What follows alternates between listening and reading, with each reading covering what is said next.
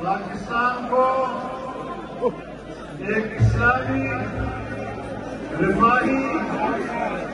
और खुशहाल मुल्क बनाने के लिए हमारी जद्दोजहद रवा दवा है, और ये काफिला अपने मंजिल की तरफ़